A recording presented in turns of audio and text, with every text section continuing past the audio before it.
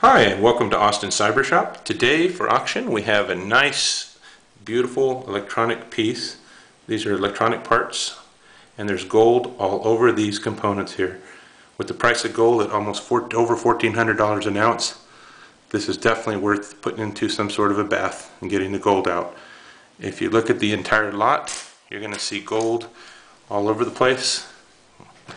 When I check it out, there's about a millimeter in width and you've got about a six inch run here of gold.